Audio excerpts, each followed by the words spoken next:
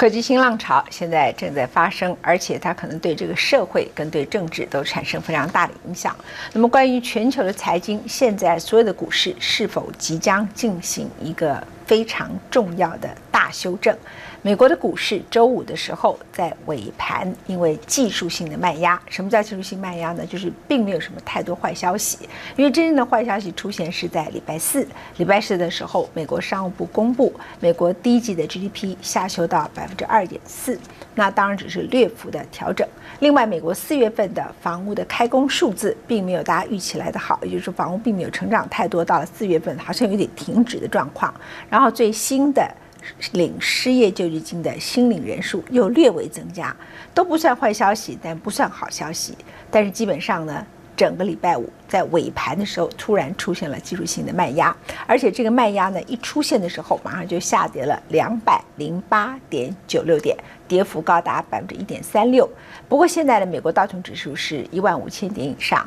S M P 也就是是跟金融资产最相关的指数标普五百，现在是一千六百三十点七四，于是市场开始出现辩论：美国股市是会往一一万六千点，道琼指数往一万六、一万八继续往上繁荣，就是叫牛市，还是经过这次的大修正？因为这根本就跟整体经济的状况是有点脱节的，所以经过这次的大修正，这样的一个股市情况。会大幅修正，回到比较合理或者比较低点。那么整个辩论的焦点都是在美国的联准会。现在呢，基本上全球的联准会大概有共同的看法。欧洲开始放宽了它的尊节政策，终于在本周，欧盟松口放宽了六个国家，他们紧缩政策、砍预算的目标，有的是可以延长年限，有的是可以增加预算赤字的。目标从百分之三到百分之三点六，甚至容许希腊到百分之六点五。所以欧洲大概实施量化宽松政策，这个态度没有改变。这是欧洲央行、美国央行跟日本央行大概都会实施量化宽松政策。那么合理来讲呢，如果全球全部都进行量化宽松政策的话，那你放在银行的钱是没有利息的，而且钱是会贬值的，于是钱就会投入到股市。投入到房地产里头，那美国的股市在这样的情况里头就会出现所谓的牛市，就是美股会继续往一万六到一万八。另外一个情况是完全相反，就是随着美国经济越来越好，尤其是 Bernanke 的任期到二零一四年的一月将到期，他曾经表示。他不会再连任。当他不连任的时候，美国要求删减赤字的声音又大起来。而美国第一季所以经济下修，GDP 只剩下百分之二点四，很大的原因，一般分析主要的原因就是美国政府删减减支，就是减支啊，删减预算的幅度太大了。那 Bernanke 一走，很可能联准会开始要求慢慢的缩小购债的规模，一步一步推出量化宽松的势力会反扑回来。在这个情况里头，美国的股市就会走进熊市，就基本上呢，现在到一万五千点的美国股市是太疯狂了，就会进行大幅的修正。现在市场上正出现两个完全不同的辩论，而焦点就在伯南克跟美国的联准会。无所不能的钢铁人直上云霄，还亲临华尔街加持，让股市脱离重力一飞冲天。这可不是 CNN 记者看了漫画跟电影后瞎说。看看美国股市今年以来的记录，道琼工业指数在三月五日创下二零零七年以来的新高，五月三日冠破一万五千点，标普五百指数三月二十八日站上历史高点，科技股纳斯达克指数也在四月底写下十二年来的新高。今年以来一波波涨势凌厉，让人不禁要问：象征景气的燕子真的来临了吗？市场上又再次掀起股市走向牛市和熊市的辩论。支持牛市的一派认为，联准会持续实施量化宽松，利率维持低档，企业获利报喜，股价就有上涨空间，带动房市和车市蓬勃。贝伦杂志甚至乐观的预测，道琼工业指数突破一万六千点并非梦事。经济学家席格更大胆，预估不久的将来，道琼会站上一万八千点。First of all, I think earnings are going to be good this year, not great. Uh, but good, but that's not going to be the primary driver of the bull market. The primary driver of the bull market is what we call expansion of multiples. In other words, the price earnings ratio, which is a fundamental yardstick for judging values, uh, I think is going to push higher.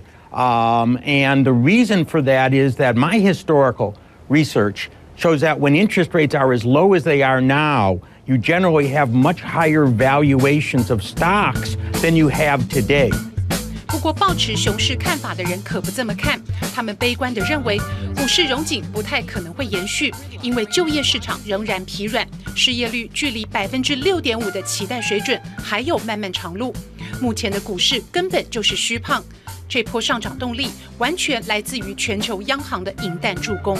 I would have to disagree. This is because of money printing. This is not because of intellectual exercise. This is the Federal Reserve and the central bank in Japan and the central bank in England and the central bank in Europe printing staggering amounts of money. This is unprecedented. Never in world history has every central bank, a major central bank, printed money at the same time and, and desperately tried to debase their currency.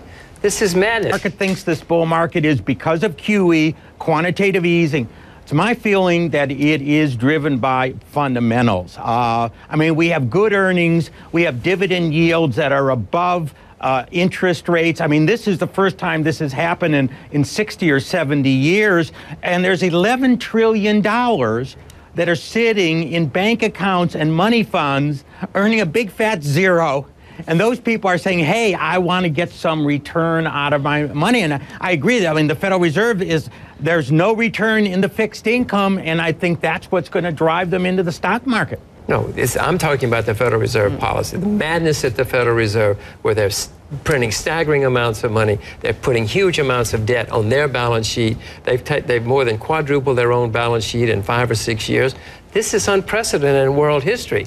Yes, money's going into stock markets, but I'm just very worried about how it's going to end and when it ends, and I know it's going to end badly, not just for us, but for the world. 正当各方辩论沸沸扬扬，热钱在市场到处流动，联储会主席伯南克上周四在国会听证会上出乎意料之外表示，倘若经济情况持续好转，在未来几次会议里不排除会逐步放缓购债规模。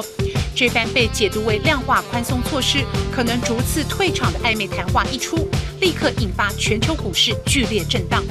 Volatility will now become more of the normal metric as markets start gauging or pricing in the, the sense or timing that the U.S. Federal Reserve is going to start discussing more and more openly the prospect and time frame for the introduction of a tapering off of quantitative easing which the markets have become so comfortable and so accustomed to. 果不其然，股市在这几天好不容易慢慢恢复元气，但最新公布的五月份消费者信心指数上扬到二零零七年七月以来的新高，制造业反弹力道强劲，第一季 GDP 成长率百分之二点四，符合先前预测。标普凯斯席勒指数也显示，在库存紧俏、超低利率和竞标战三大因素影响下。房价较去年同期增加百分之十点九，创下七年来的最大涨幅。由于预期的经济数据，使投资人更加担心联准会可能会加速减少刺激措施的规模。星期五收盘，三大股市同步下挫。If we see a pickup in um, economic growth and we see some some pickup in inflation, we think from sort of the dual mandate perspective, labor market improvement inflation that the Fed could taper. But remember, Bernanke built his whole reputation on arguing that both in the Great Depression and Japan in the 90s, they cut back on the easy monetary policies too soon. So if somebody takes the foot off the Fed accelerator, we don't think it'll be Bernanke. 分析师认为，与其说伯南克的话引发敏感的股市恐慌，还不如认为这是在逐步测试水温。更何况，美国房市表现持续热络，甚至出现了过去未有的竞价。主张牛市的说法，目前似乎占了上风。The way that I would think about it, I think, is that the, the presence of bidding wars is a signal of a strengthening market. Uh, a year ago, we didn't hear about bidding wars. Two years ago, we certainly didn't hear about bidding wars. So, but now that the market is getting stronger, we're hearing that there's more competition for, for vacant home. 房价和股价上涨带动家庭财富提升，进而刺激消费。虽然连股神巴菲特都认为现在的股市难以预测，但随着财政自动减支的效应在下半年逐渐消散，美国经济缓慢扩张的态势应该是可以预期的。究竟是牛市还是熊市？答案自然会揭晓。